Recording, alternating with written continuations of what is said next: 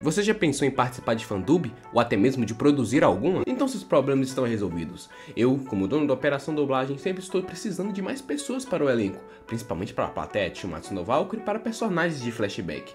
Além disso, eu quero aumentar mais o conteúdo do canal, fazendo as dublagens de mais mangás como Jujutsu Kaisen, Manga do Lampião e uma futura adaptação de Guerra do Valhalla, link na descrição aliás.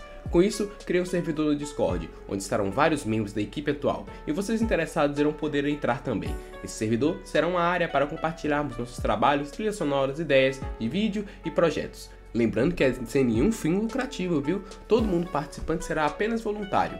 Esse servidor é para fins profissionais. Todos estamos para aprendermos mais um com os outros e juntos criaremos e evoluiremos nos nossos projetos. O recomendado é ter um pouco de experiência na área, um microfone razoável e uma boa disponibilidade de gravação. Mas caso for inexperiente, não tem problema. Daremos dicas de como começar e oportunidades em vídeos. Então, se você está preparado para dar mais um passo em seus projetos e participar do canal, entre no servidor, que deixarei no comentário fixado. Obrigado pela atenção e vamos juntos ao rumo da evolução de nossos projetos.